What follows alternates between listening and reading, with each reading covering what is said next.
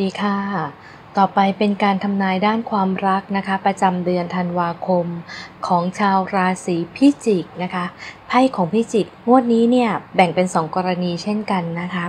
กรณีที่ 1อยู่ดีๆ เจ้าชะตาเดือนนี้นะคะ อาจจะนึกถึงเรื่องราวในอดีต บางคนไปให้ความหมายของไฟเอ่อความหมายของไพ่ไว้นะว่า คนในอดีตต้องเป็นแบบนี้แบบนี้นะคะ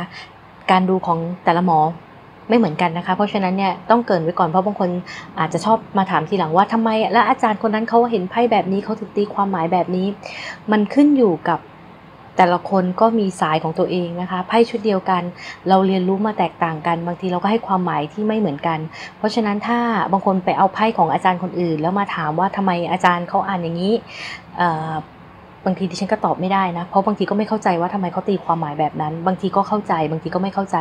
คือไพ่มันจะมีนิยามกลางๆของมันอยู่แล้วนะคะ แต่ประสบการณ์ของผู้ทำนายแต่ละคนไม่เหมือนกัน แล้วเหมือนกับเราไปให้นิยามความหมายของไพ่ใบนั้นไว้ยังไงเนี่ยเราก็จะตีความหมายของเหมือนของเรานะคะ เพราะฉะนั้นใครดูช่องนี้ดิฉันก็ขอใช้ความหมายไพ่เฉพาะแบบที่ดิฉันรู้สึกมาแบบนั้นนะคะอะ อย่างอย่างที่บอกว่าแบ่งเป็น2กรณีไพ่ชุดนี้เนี่ยเป็นการเปิดครั้งที่2นะคะเนื่องจากว่าเปิดไปแล้วชุดหนึ่งแต่เผอิญว่ามันไม่สามารถอ่านได้ก็เลยเปิดอีกชุด เปิดอีกครั้งหนึ่งนะคะไพ่นี้เป็นไพ่ชุดที่ 2 แต่ความหมายของไพ่เนี่ยเมื่ออ่านรวมกันแล้ว ให้ความหมายคล้ายๆ กันทั้ง 2 ชุดนะครับ ก็เลยจะจะตีนิยามแบบนี้นะคะไพ่มันขึ้นมาว่า เดือนนี้เจ้าชะตาราศีพิจิกนะคะสำหรับคนที่เคยมีความรู้สึก ความรัก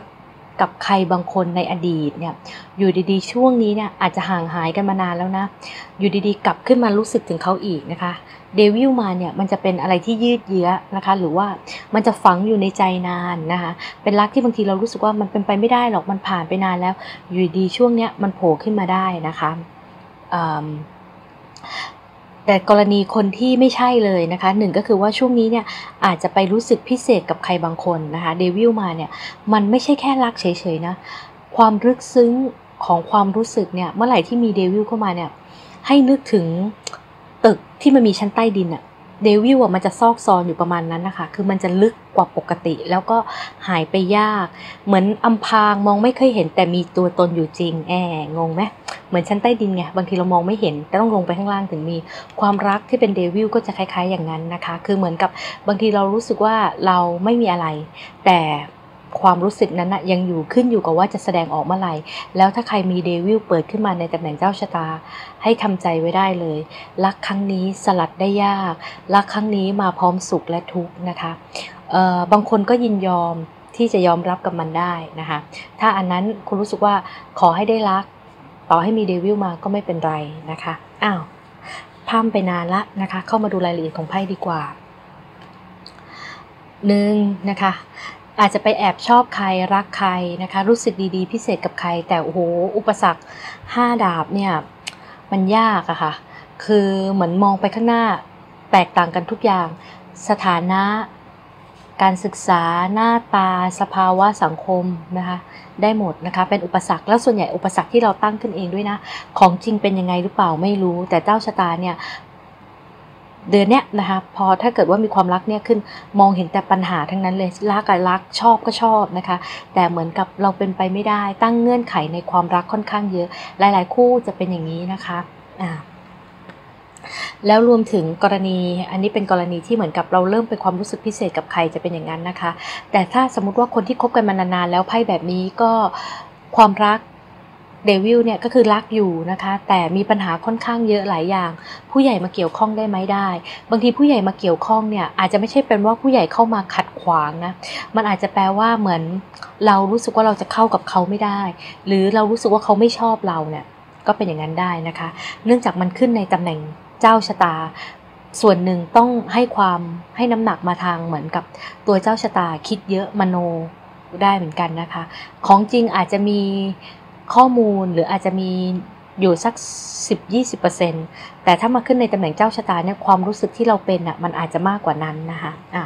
ความรักช่วงนี้ถ้ามีเดวิลขึ้นมาแล้วก็ติด 5 ดาบขึ้นมาด้วย เป็นรักที่เหมือนต้องเหนื่อยๆนิดนึงนะคะมีสุขอะแต่มันยังสุขได้ไม่เต็มที่นะคะ มีความหวาดระแวงความกังวลติดขึ้นมาด้วย เขาเป็นยังไงบ้างนะคะสำหรับเขาเนี่ยคิดว่าเขาคือใครบางคนถามว่าตำแหน่งเนี้ยคือคนไหนถ้าเรามีหลายคน บางทีตอบยากนะ คุณต้องลองดูว่าสไตล์ของไพ่ที่อ่านขึ้นมาเนี่ยมันไปตรงกับคนไหน ถ้าเราสมมติว่าเพอเราครบหลายคนนะคะไพ่เนี่ยมันจะจับความรู้สึกที่เด่นที่สุดขึ้นมานะคะอ่าเราก็ต้องดูว่าคู่ของเราเนี่ยใกล้เคียงกับคนไหนของไพ่นะคะไพ่ใบนี้สำหรับคนที่คบกันมานานๆ ถ้าคุณคิดถึงเขาดิฉันคิดว่าใจเขายังคิดถึงคุณนะ อย่างกรณีแรกที่บอกนะคะว่าอยู่ดีเหมือนเราลืมไปได้แล้วอยู่ดีตอนเนี้ย กลับมารู้สึกใหม่นะคะ เขาเองก็ไม่แตกต่างกัน เรายังอยู่ในใจเขาเหมือนกัน แต่แค่เขาไม่มีอาการมากเท่าเรา ก็อาจจะแค่รู้สึกพิเศษคิดถึงเหมือนกันนะคะ แต่จะไม่แสดงอาการอะไรมากนะคะ เพราะว่าพวกไพ่ฤาษีพวกนี้จะเป็นเนิบนาบหน่อยนะคะ จะไม่อะไรมากๆหรอก ต่อให้เขาชอบเขาก็จะไม่แสดงอาการอะไรเยอะนะคะ เป็นฝ่ายเหมือนเฝ้ารอนะคะถ้าเกิดเราจะเป็นฝ่ายทำให้เรื่องราวมันเป็นจริงเนี่ยต้องตัวเราเป็นคนเริ่มต้นนะคะ แล้วสำหรับกรณีคนที่คบมานานๆแล้ว ตอนนี้มีปัญหากันเป็นยังไง ดิฉันคิดว่าเขาก็ยังมีใจให้คุณอยู่ แต่เพียงแต่อย่างที่บอกว่าเมื่อไหร่ไพ่ใบนี้ขึ้นมาเนี่ยข้อเสียของมันนะคะ มันไม่ใช่ไพ่แรงนะคะ แต่มันจะเป็นไพ่ที่เหมือนกับส่วนตัวเขาอะรู้สึกว่ามีหรือไม่มีไม่แตกต่างกัน คือเหมือน เราครบกันได้ เราก็คบกันไป เราครบกันไม่ได้ เราก็ห่างๆกันก็ได้นะคะ ไม่ค่อยมีปฏิกิริยาเยอะคู่ของเรานะคะ เท่าที่ไพ่เห็น และส่วนใหญ่พวกไพ่ฤาษีพวกนี้อย่างที่บอกว่าเขาจะไม่แสดงอาการอะไรเยอะ เรื่อยๆเฉยๆนะคะเวลามีปัญหาเกิดขึ้นเนี่ยอาจจะเป็นเราที่มีอาการเยอะ แต่เขาเองไม่เคยมีอาการเท่าไหร่ แล้วถ้าไพ่แบบนี้ขึ้นเนี่ยจะบอกว่าเขาเก็บความรู้สึกได้ค่อนข้างดีนะคะอ่า เหมือนไม่ค่อยมีอะไรนะคะ เป็นด้านความรู้สึกซะมากกว่า แล้วสิ่งที่แสดงออกต่อกันเป็นยังไงนะคะ9เหรียญ4ถ้วยเนี่ยมันจะออกแนวเฉยๆอะเหมือนบางทีต่างคนต่างอยู่ ต่างคนต่างใช้ชีวิตนะคะ ถ้าเกิดคนที่เราชอบกันเดี๋ยวนี้เราสึกว่าเราเจอคนที่ถูกใจ เขานิ่งๆเฉยๆ เราเองทำยังไง เราก็ฟอร์มเหมือนกันนะคะ ใจอะมีแต่สิ่งที่แสดงออกอะเหมือนฉันไม่แคร์เฉยๆนะคะ นิ่งๆ บางครั้งมีคำเชิดเชิดใส่ด้วย เพราะว่าเพราะไพ่สีถ้วยมานะคะ ช่วงนี้ความสัมพันธ์ของทั้งคู่ก็เลยอ่านออกมาได้ว่า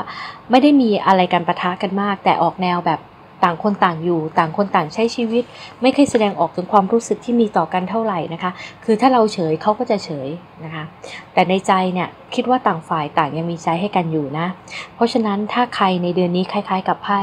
อย่ารักษาฟอร์มไว้เยอะเลย ถ้าเรารู้สึกว่าเราเจอคนที่ถูกใจแล้วเนี่ย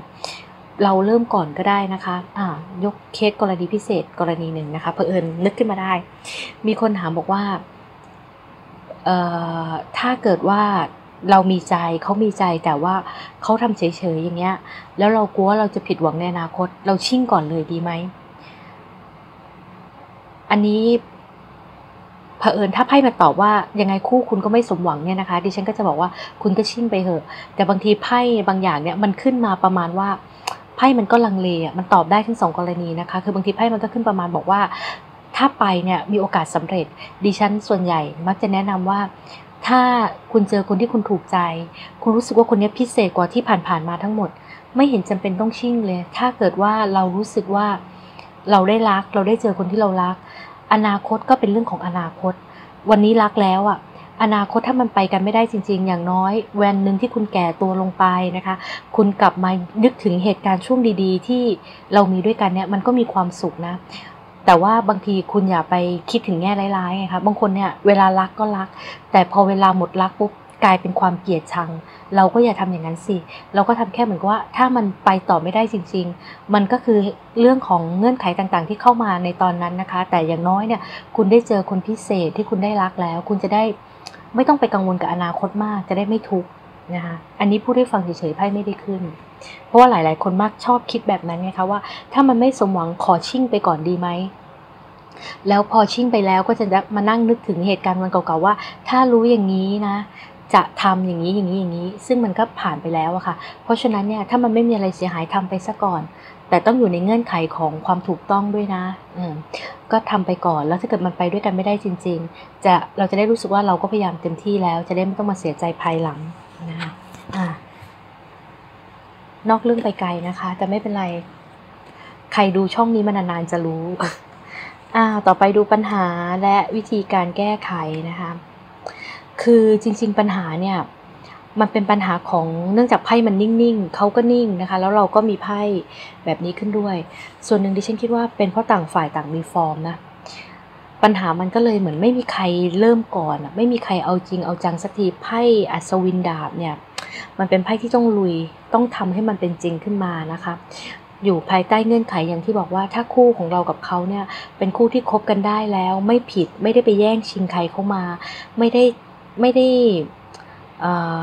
ไม่ได้จะทำให้ใครเดือดร้อนอะนะคะ แต่ว่าอะไรต่างๆ ปัญหาที่คุณคิดขึ้นมาเนี่ยนะคะ ส่วนหนึ่งดิฉันคิดว่าคุณคิดเยอะเกินไป เขาเองอาจจะไม่ได้คิดเท่าคุณ อาจจะมีปัญหา มีความแตกต่างกันบ้างก็จริง แต่ถ้าไพ่แบบนี้ขึ้นมาเนี่ยสู้แล้วชนะนะ สู้แล้วสำเร็จนะคะ เพราะฉะนั้นถึงกลับมาบอกว่าถ้าคู่ของคุณมีปัญหาอยู่ แล้วคุณรู้สึกว่าเขาเป็นคนที่คุณ เหมาะสมที่จะเลือกเหมาะสมที่จะยอมเสียสละ หรือเหมาะสมที่จะสู้เนี่ยดิฉันแนะนำให้คุณสู้นะคะแต่อย่างที่บอกว่าอยู่ภายใต้เงื่อนไขของความถูกต้องด้วยนะพอต่อให้ยังไงเนี่ยต่อให้คุณสำเร็จแต่ว่าเงื่อนไขเริ่มต้นมันผิดแล้วเนี่ย ยังไงปัญหามันมีตามมาแน่นอนนะคะ ที่ดิฉันบอกให้สู้เพราะอะไรรู้ไหมนะคะ ขอให้มองข้ามปัญหาแล้วก็แก้ไขกับปัญหาที่เข้ามา เนื่องจากว่าไพ่อะมันดีทั้งนั้นเลยนะคะ อัศวินถ้วยนะคะ อ่อนโยนนุ่มนวลนะคะไพ่คิงเหรียญเนี่ยก็เป็นไพ่ที่มีความมั่นคงหนักแน่นนะคะไพ่คิงเหรียญเนี่ยถ้าไม่ได้เกี่ยวกับเรื่องการเงินเนี่ยมันหมายถึงความอดทนด้วยนะ เพราะว่าตามตำนานเขาบอกไว้ว่า ถ้าพูดถึงเรื่องสายของ เรื่องธุรกิจหรืออะไรนะคะ คนที่จะมาเป็นธุรกิจแล้วได้คิงเหรียญขึ้นมา พวกนี้จะมาด้วยน้ำพักน้ำแรง อาศัยความอดทนแลกมานะคะ ถึงได้ชัยชนะมา พอมาตีเรื่องความรักเราก็ต้องเอาเหมือนพื้นของเขามารักของคุณอะต้องมีความอดทน ต้องมีความหนักแน่น มีความหนักแน่นนะคะ มองก้าวข้ามปัญหาต้องทำตัวให้เป็นต้นไม้หน่อยนะคะต้นไม้ที่ อย่างลากลึกๆ เข้มแข็งเวลามีอะไรมาปะทะ แต่ในขณะเดียวกันก็ต้องรู้จักโอนอ่อนผ่อนมันบ้างนะคะ ถ้าเราไปแข็งอย่างเดียวเวลาลมพัดมาแรงๆมันจะหักนะคะเนี่ยสามใบเนี่ยเป็นไพ่ที่ดีทั้งนั้นนะคะ ถ้าอยู่ช่วงที่ผ่านมามีปัญหาหนึ่งไม้เท้าเนี่ยสามารถเริ่มต้นได้นะ อยู่ในจุดที่สามารถกลับมาสร้างให้มันเป็นจริงขึ้นมาได้ แต่คุณต้องเอาจริงเอาจังกับมันหน่อยนะคะ มองข้ามปัญหาไปด้วยนะคะ เพราะว่าเท่าที่เห็นเนี่ยดิฉันคิดว่าเจ้าชะตาน่ะ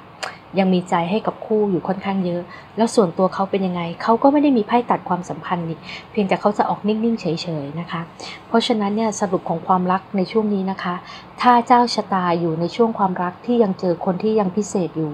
นะคะ แล้วเรามีปัญหากันในช่วงที่ผ่านมา มันน่าจะมีโอกาสที่ได้กลับมาแก้ไขแล้วรักของคุณเนี่ยดิฉันคิดว่าจะเป็นรักที่ค่อนข้างนุ่มนวลและหนักแน่นนะ ฝ่าฟันไปได้ ปัญหามีแน่นอนนะคะ ถ้าไพ่ขึ้นแบบนี้ไม่ใช่ไม่มี มีจะผ่านได้แล้วก็สำเร็จนะคะ แต่สำหรับใครที่รู้สึกว่า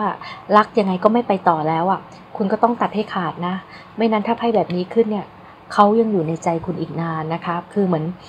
ไม่เอาแล้วอะ แต่ใจมันลืมไม่ได้นะคะ โอเค ก็พิจิกก็ออกขึ้นมาแบบนี้นะคะ คือ การทำนายเนี่ยบางครั้งดิฉันอาจจะไม่เก่งฟันธงนะ แต่จะอ่านตามความหมายของไพ่ที่ขึ้นมามากกว่านะคะ ก็ไพ่ขึ้นแบบนี้ก็อ่านแบบนี้นะคะ ขอบคุณและสวัสดีค่ะ